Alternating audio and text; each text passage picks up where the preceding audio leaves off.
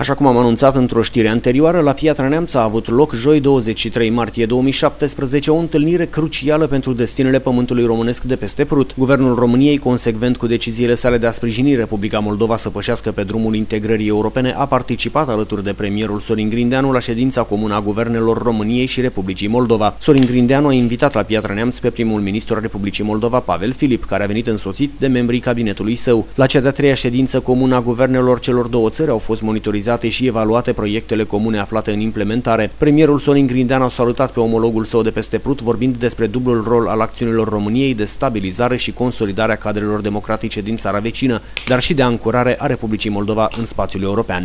Încă o dată vă transmit bine ați venit împreună cu echipa dumneavoastră. Azi am avut uh, o întâlnire extrem de pragmatică și abordarea de asemenea a fost pragmatică, am avut un dialog uh, constructiv și acum am avut de fiecare dată, uh, care e baza până la urmă a cooperării noastre dintre, a cooperării dintre România și Republica Moldova. Am reușit să trecem foarte mult în revistă foarte multe proiecte pe care le avem în acest moment în, uh, în derulare am discutat despre proiecte viitoare, am discutat despre proiecte în domeniul energiei, infrastructurii, culturii, mediului, de asemenea, dezvoltare regională. Sunt lucruri concrete, așa cum vă spuneam, și care dezvoltă relația uh, dintre România și Republica Moldova. Acțiunea României va continua să aibă un dublu rol. De stabilizare a Republicii Moldova și de consolidarea cadrelor instituționale și democratice din Republica Moldova. În al doilea rând, de ancorare politică, strategică, dar și fizică a Republicii Moldova în spațiul european. Premierul României a reiterat faptul că este un moment politic de trecere la o nouă etapă a relațiilor bilaterale, respectiv consolidarea prezenței investiționale românești în Republica Moldova prin participarea României la procesul de privatizare cu respectarea tuturor procedurilor de transparență. Primul ministru al României, Sorin Grindeanu, a spus că Republica Moldova va trebui să accelereze procesele de reformă și consolidare a progreselor democratice. Avem în vedere în perioada următoare să creștem prezența sau să trecem într-o nouă etapă noi, România, ca și prezență în Republica Moldova, ne dorim consolidarea prezenței investiționale românești în Republica Moldova. Ne dorim să uh, fim parte a eventualelor procese de privatizare care vor avea loc în perioada următoare în Republica Moldova, sigur, uh, respectând toate procedurile transparente pe care dumneavoastră, dumneavoastră le veți avea le veți avea. Credem că este timpul acțiunilor concrete. Trebuie accelerat, din punctul nostru de vedere, sau trebuie accelerate procesele de, de reformă și consolidat pe mai departe parcursul european al Republicii Moldova. România așteaptă din partea Republicii Moldova consecvență și seriozitate și reiterez, în final, următorul lucru.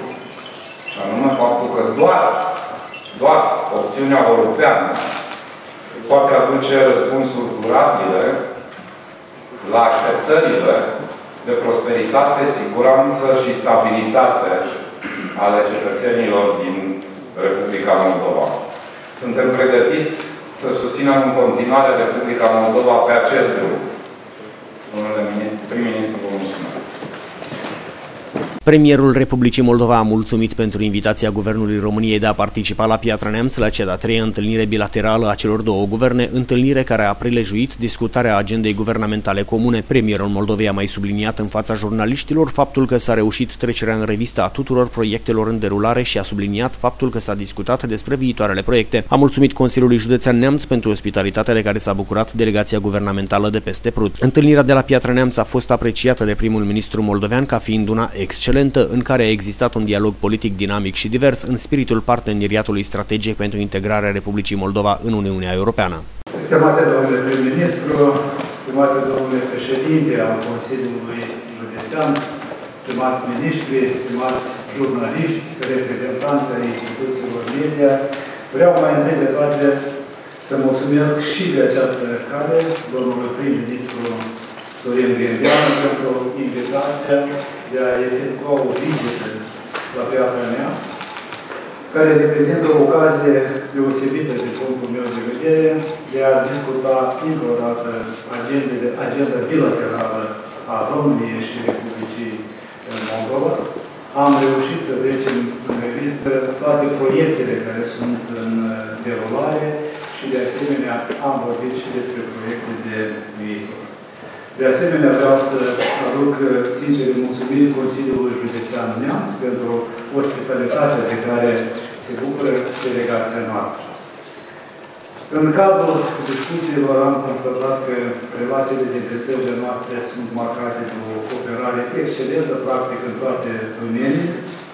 Dialogul politic bilateral este dinamic și divers, în spiritul parteneriatului strategic pentru integrarea europeană a Republicii Moldova. Premierul Moldovei, Pavel Filip, a dat asigurări că guvernul pe care îl conduce rămâne ferm în ceea ce privește decizia politică de implementare a proiectelor legate de integrare europeană, care reprezintă proiectul de țară al Republicii Moldova. Asta în ciuda poziției pro-ruse a președinției. Se știe însă că prevederile Constituției țării vecine dau puteri sporite guvernului, care asigură România că nu se va schimba nimic în strategia de implementare a acestui proiect de țară.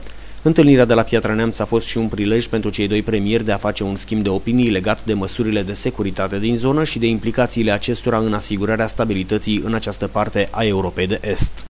În acest sens, v-am asigurat pe domnul prim-ministru că Moldova rămâne ferm angajată pe calea realizării proiectului nostru strategic, implementarea consecventă a reformelor prevăzute de acordul de asociere cu Uniunea Europeană. Moldova privește în continuare spre vest ca și proiect de țară. Adevărul e că, indiferent de poziționările prezidențiale de la Chișinău, Constituția dă mai multă putere de decizie Parlamentului și Guvernului. Și din acest punct de vedere, în relația noastră cu România nu se va schimba nimic, precum nu se va schimba nimic din opțiunea noastră europeană, care este de fapt și proiectul nostru de țară. Am făcut un schimb de opinii pe marginea evoluțiilor în domeniul securității în plan regional, precum și implicațiile pe care acestea le pot avea în ceea ce privește stabilitatea Moldovei. Totodată am exprimat uh, sincere mulțumiri pentru sprijinul constant acordat uh, în parcursul nostru european, experiența valoroasă românească oferită a contribuit esențial în momente de maximă importanță. Premierul moldovean a mulțumit României pentru împrumutul de 150 de milioane de euro asigurat de România în două tranșe care au venit pentru Republica Moldova în cele mai grele momente prin care a trecut. România va mai da guvernului moldovean 96 de microbuze școlare necesare școlilor din țara vecină.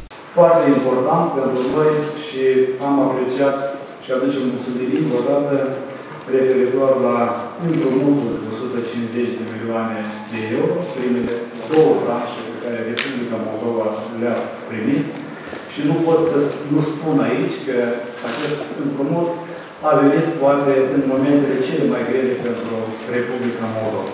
Apreciem acest uh, lucru. De asemenea, în mod special, vreau să aduc mulțumiri pentru cea mai recentă decizie a Guvernului Român, 96 de autobuze școlare care vor veni curând în Republica Moldova. Am vorbit și detaliile tehnice deja astăzi. Este o investiție necesară pentru noi în contextul reformei din educație și în contextul optimizării școlilor din Republica Moldova. Premierul Pavel Filip a pomenit și de implementarea proiectelor energetice în țara sa cu sprijinul României prin interconexiunea la sistemul european de gaze naturale și energie electrică. Vom urgenta implementarea proiectelor energetice deja stabilite, care sunt foarte importante pentru Republica Moldova. Republica Moldova fiind un importator de energie, de aceea securitatea energetică este în prim plan și este un obiectiv foarte important pentru guvernul pe care am onoarea să-l reprezint și am toată certitudinea că noi vom reuși acest lucru și prin interconexiunea la sistemul european prin intermediul României la gazele naturale, dar și interconexiunile pe energie electrică. Prim-ministrul moldovean a spus că participarea României la procesul de privatizare din Republica Moldova este salutar. S-a convenit ca următoarea ședință de guvern comună să aibă loc la Chișinău. După reuniunea bilaterală de la Piatra Neamț, cele două guverne au vizitat mănăstirea Agapia, unde au fost întâmpinați de mitropolitul Moldovei în alt preasfințitul Teofan Savu și arhiepiscopul Romanului și Bacăului în alt preasfințitul Ioachim Băcăuanu. Cele două delegații au fost invitate apoi la masă, bucatele de post fiind pregătite de măicuțele de la cea mai frumoasă mănăstire din zonă.